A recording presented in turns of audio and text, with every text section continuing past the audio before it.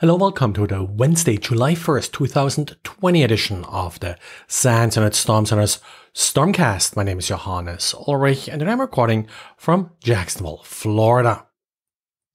Microsoft today released uh, two updates for uh, Windows codec vulnerabilities that do affect Windows 10 as well as Windows Server 2019. Now, of course, no big surprise that Windows 10 and Server 2019 are both affected. They're similar enough and share a lot of libraries.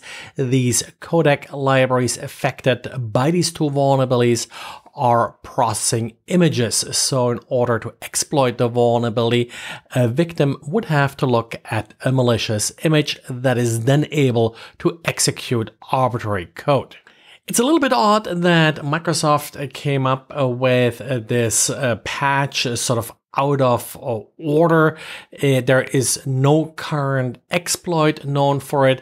And this vulnerability was found by Abdulaziz Hariri, who was actually part of the Trend Micro Zero Day initiative. So it was reported to Microsoft via the Zero Day initiative. Microsoft does state that this update should be applied automatically via the Microsoft Store. You could theoretically trigger it manually if you don't want to wait for the automatic patch to kick off. But well, a lot of malware these days, of course, doesn't really rely on any vulnerabilities like this in order to execute code. It just tricks the user into doing so. And that, of course, is operating system independent. And yes, I do have some new Mac malware to talk about. Malwarebytes wrote this up, and uh, the reason you may be infected with this latest Mac malware is if you installed Little Very popular and very good uh, firewall software for Mac OS uh, from uh, Torrent. So the trick here is that the attacker is trying to trick you into installing this supposedly free version of Little Snitch. Usually you have to pay for it, but instead of installing Little Snitch, you actually install a ransomware. This ransomware is sort of tricky, maybe a little bit too tricky in some ways for its own good. It will only start encrypting your file after three days. Not really sure why they're waiting three days in order to kick off the encryption process, but that's what Malwarebytes observed. Then we have a sort of interesting vulnerability in a popular software development kit that's used by a number of uh, VPNs. Uh, the Anchor Free VPN SDK. It's uh, used in particular by antivirus vendors that sort of added VPN capability uh, to their software. And a researcher found uh, interesting privilege escalation vulnerability in the software. Now, I have to say, uh, overall, I don't think that's sort of a terrible exciting vulnerability. In order to exploit, an attacker has to have access to the system as a regular user.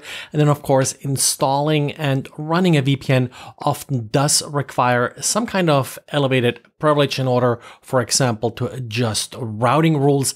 And uh, some VPNs, like for example, OpenVPN or so, even explicitly allow you to run little scripts to help with the startup procedure as an elevated user. Originally, the problem was identified in Bitdefender's implementation of the VPN, but since it actually involved that library that a number of vendors are using, the entire disclosure uh, process uh, took a while and the vendor now has released patches.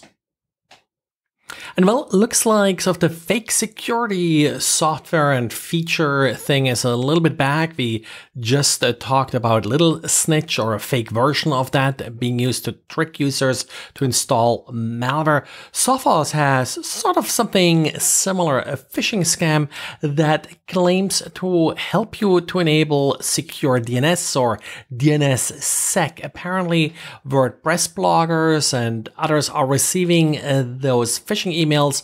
Kind of interesting when you click on the phishing email, the landing page sort of automatically adapts itself to adopt the look and feel of the hosting company.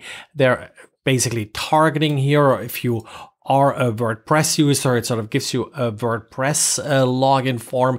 And then, of course, well, uh, they ask you for your username and password, and that's what they're really after here. Ever heard of two factor authentication? Probably a good thing to prevent attacks like this.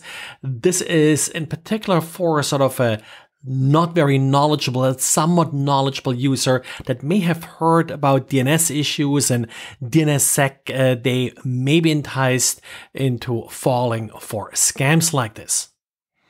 Well, and this is it for today. There were a bunch of Netgear vulnerabilities, but kind of tired of them. So uh, just uh, update your Netgear routers. Other than that, uh, talk to you again tomorrow. Bye.